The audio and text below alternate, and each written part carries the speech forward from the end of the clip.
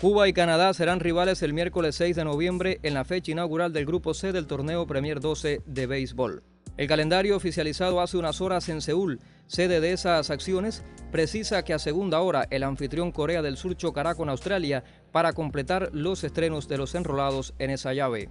La selección de la isla volverá un día después al terreno para vérselas con los australianos y en la jornada siguiente tendrá como oponente a la dotación de casa, coronada en la versión del 2015. Estamos listos y deseamos buena suerte a nuestros competidores en el grupo Cuba, Australia y Canadá para que se desempeñen de la mejor manera, dijo el comisionado de la liga local Chung Hun Chang, quien acompañó en la ceremonia al presidente de la Confederación Mundial de Béisbol y Softball, Ricardo Frascari. Cada grupo acuñará dos pasaportes para disputar la Super Ronda en la Tierra del Sol naciente. La llave en la que aparece Cuba es la menos complicada, pero los rivales del equipo antillano han elevado muchísimo su nivel, por tanto la tarea para los nuestros será, como de costumbre, otra prueba de fuego.